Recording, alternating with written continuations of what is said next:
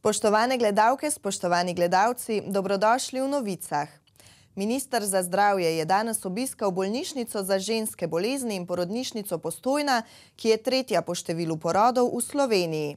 Z vodstvom se je pogovarjal o širitvi njihovega programa. Po njegovih besedah je potrebno zagotoviti najvišje standarde opreme in kadra za zagotavljanje najboljših možnih storitev za pomoč parom. Ministrstvo za zdravje si zato prizadeva razvijati infrastrukturo, ki dovoljuje zdravstvenim delavcem opravljanje njihovega poslanstva. Tako je tudi v primeru razvoja opreme v bolnišnici za ženske bolezni in porodništvo postojna. Opremo in pa kadre pripraviti na nivoju, ki dejansko, če lahko temu tako rečem, simulira situacijo ob sami uh, oploditvi in pa v prvih dneh uh, uh, vzpostavitve uh, ploda. In zato morajo pogoji za delovanje tega laboratorija doseči najvišje standarde in biti po standardih, ki jih eh, imajo laboratoriji za transplantacije celic. V ponedeljek so v Sloveniji ob 2326 PCR testih in 20627 hitrih antigenskih testih potrdili 2265 okužb z novim koronavirusom. Po oceni Nacionalnega inštituta za javno zdravje je v državi trenutno 70781 primerov aktivnih okužb, kar je 8881 manj kot dan prej.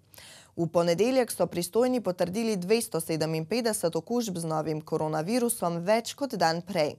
Sedemdnevno povprečje potrjenih primerov trenutno znaša 3330, kar je 689 manj kot dan prej, tudi število potrjenih primerov v zadnjih 14 dneh na 100 tisoč prebivalcev še naprej upada in trenutno znaša 3355, kar je 421 manj kot dan prej. Z enim odmerkom cepiva proti COVID-19 je po podatkih NIAZ cepljenih 1 milijon 263 tisoč 574 ljudi, polno cepljenih pa je 1 milijon 217 tisoč 619 oseb. Ministar za notranje zadeve Aleš Hojs se je danes odzval na napoved preiskovalne komisije državnega zbora, ki preiskuje sume političnega umešavanja v delo policije, da ga bo ovadila. Če nimaš vsebine, ti drugega ne preostane, je zapisal. Opozicija je po njegovem mnenju dvakrat neuspešno poskušala z interpelacijo, zdaj pa poizkuša z ovadbo. Minister Hojs je kot odziv na napovedano ovadbo zapisal, da potem, ko so dvakrat neuspešno poskusili z interpelacijo, ko sta se jim zaslišani pred komisijo ponesrečili in ko so uložili odškodninsko tožbo, poizkušajo še s kazanskimi ovadbami. Agencija Republike Slovenije za kmetijske trge in razvoj podeželja bo v četrtek začela zbirati zbirne vloge za leto 2022, v okviru katerih bodo vlagatelji oddajali zahtevke za scheme neposrednih plačil in ukrepe razvoja podeželja v skupni vrednosti 220 milijonov evrov. Lani je Agencija za ukrepe kmetijske in ribiške politike izplačala skoraj 342 milijonov evrov. Zbirne vloge bodo upravičenci lahko oddali od četrtka 24. februarja do 6. maja. Kot v preteklih letih je tudi letos obvezen elektronski vnos, samostojno ali pri kmetijskih svetovalcih oziroma pooblaščencih, je na današnji novinarski konferenci pojasnil generalni direktor agencije Miren Mihelič. Mihelič je ob tem spomnil, da se je lani izvajalo številne izredne ukrepe za pomoč kmetom zaradi epidemije COVID-19. Zanje je agencija upravičencem izplačala približno 25 milijonov evrov. Ukrajinski predsednik Volodimir Zelenski je danes zahteval takojšnjo ustavitev projekta Severni tok 2, po katerem bo iz Rusije v Nemčijo tekel ruski plin.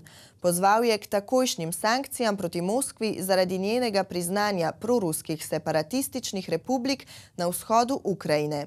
Prepričan je tudi v nadaljno rusko agresijo proti Ukrajini. ZDA so Rusiji v primeru vojaške agresije proti Ukrajini zagrozile z ostrimi sankcijami, ki bi lahko vključevale tudi plinovod Severni tok 2.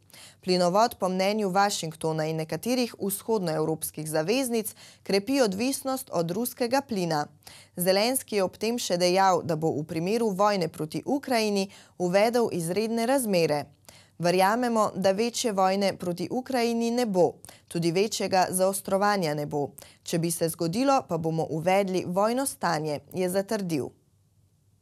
S severnimi vetrovi v višinah doteka k nam nekoliko hladnejši in bolj suh zrak. Danes in jutri bo precej sončno, pihal bo veter severnih smeri.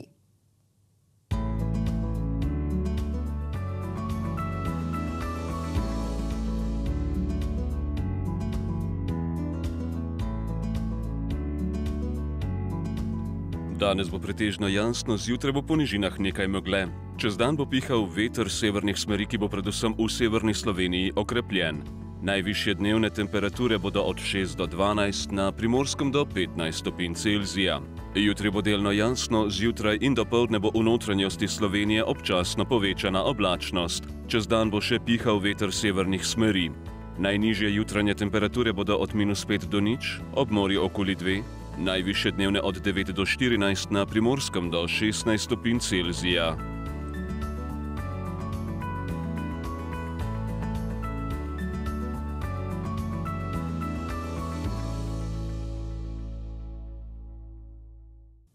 Spoštovane gledalke, spoštovani gledalci, hvala za vašo pozornost. Spremljajte Novo 24 TV še naprej.